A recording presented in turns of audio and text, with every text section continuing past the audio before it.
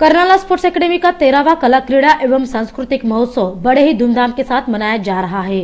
हर रोज हज़ारों खिलाड़ी विभिन्न प्रतियोगिता में सहभाग ले रहे हैं। महोत्सव के छठवें दिन यानी बृहस्पतिवार को बोटिंग, फुटबॉल, साइकिलिंग आदि प्रतियोगिताओं का आयोजन किया गया था।